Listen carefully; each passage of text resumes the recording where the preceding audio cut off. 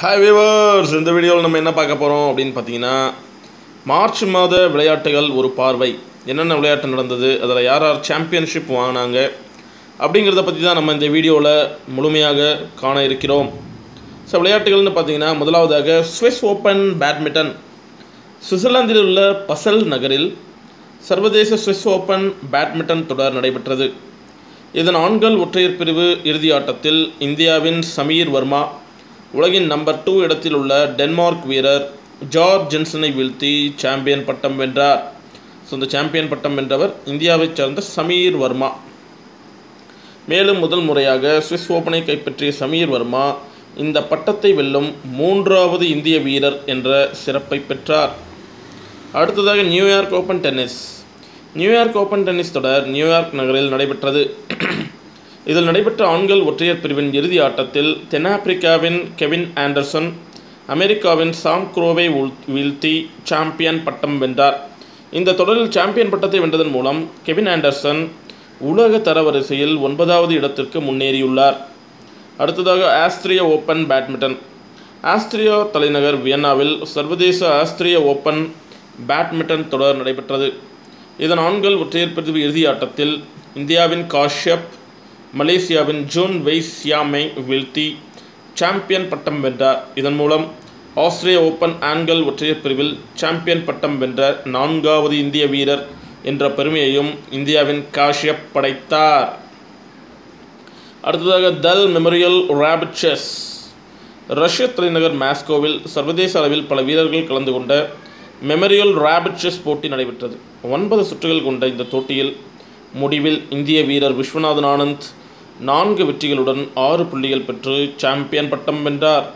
கடந்த ரெண்டு மாதங்களுக்கு முன்பு ரியாத் நகரில் நடந்த உலக ராபிட் செஸ் போட்டியில் சாம்பியன் பட்டம் வென்ற நிலையில் இப்போது இந்த போட்டியிலும் விஸ்வநாதன் ஆனந்த் கோப்பையை கைப்பற்றியுள்ளார். இது மிகத்தான சாதனையாகும். அடுத்தது லீக் கோப்பை கால்பந்து.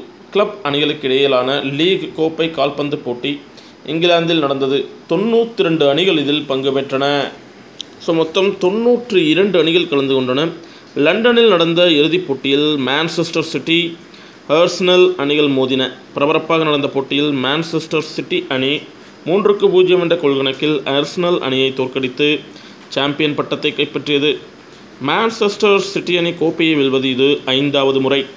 உலகக் கோப்பை துப்பாக்கிச் சுடுதல். ஸோ இந்த ஆண்டுக்கான முதல் ஐஎன்எஸ்எஸ்எஃப் உலகக்கோப்பை துப்பாக்கிச் சுடுதல் தொடர். மெக்சிகோவின் குவா லட்ரஜ்ரா என்ற நகரில் நடைபெற்றது. பன்னெண்டு நாட்கள் நடைபெற்ற இந்த உலகக்கோப்பை துப்பாக்கிச் சுடுதல் தொடரில் ஐம்பது நாடுகளைச் சேர்ந்த நானூற்றி நான்கு வீரர்கள் வீராங்கனைகள் கலந்து கொண்டனர். இந்த தொடரில் இந்தியா நான்கு தங்கம் ஒரு வெள்ளி நான்கு வெண்கலப் பதக்கங்களுடன் பதக்கப்பட்டியலில் முதலிடத்தை பிடித்து சாதனை படைத்தது. உலகக்கோப்பை தொடரில் இந்தியா பதக்கப்பட்டியலில் முதலிடத்தை பிடிப்பது இதுவே முதன்முறையாகும் அடுத்ததாக ரொட்டர்டாம் ஓப்பன் டென்னிஸ் நெதர்லாந்தின் ரொட்டர்டாம் நகரில் ரோட்டர்டாம் சர்வதேச ஓப்பன் டென்னிஸ் தொடர் நடைபெற்றது. இதன் ஆண்கள் ஒற்றையர் பிரிவு போட்டியில் சுவிட்சர்லாந்தின் ரோஜர் ஃபெடரர் பல்கேரியாவின் கிரிகோர் டிமிட்ரோவை வீழ்த்தி சாம்பியன் பட்டம் வென்றார். இதுவரை டிமிட்ரோவை ஏழு முறை சந்தித்துள்ள ஃபெடரர் ஏழு முறையும் வெற்றி பெற்றுள்ளார். மேலும் சர்வதேச அளவில் ஃபெடரர் பெறும் தொண்ணூற்றி ஏழாவது பட்டமாகும். அஸ்லான்ஷா கோப்பை ஹாக்கி இருபத்தி ஏழாவது சுல்தான் அஸ்லான்ஷா கோப்பை ஹாக்கி போட்டி மலேசியாவின் இபோக் நகரில் நடந்தது. ஆறு நாடுகள் பங்கேற்ற இந்த தொடரின் இறுதிப் போட்டிக்கு ஆஸ்திரேலியா மற்றும் இங்கிலாந்து அணிகள் பங்கேற்றன. இறுதிப் போட்டியில் உலக சாம்பியன் ஆஸ்திரேலிய அணி ரெண்டுக்கு ஒன்று என்ற கோல் கணக்கில் நடப்பு சாம்பியன் இங்கிலாந்தை வீழ்த்தி சாம்பியன் பட்டத்தை வென்றது. இந்த தொடரில் பங்கேற்ற இந்திய அணியால் ஐந்தாவது இடத்தை மட்டுமே பிடிக்க முடிந்தது. அடுத்தது டாக் வாண்டாவில் கின்னஸ் சாதனை. தமிழ்நாட்டின் தருமபுரியில் ஒரே இடத்தில் ஆயிரத்தி நானூற்றி முப்பது டேக்வாண்டா வீரர்கள் பங்கேற்று கின்னஸ் சாதனை படைத்தனர். இவர்கள் பன்னெண்டு நிமிடங்கள் நாற்பது வினாடிகள் ஒன்றாக டேக்வாண்டா தற்காப்பு கலை சாகசம் புரிந்தனர்.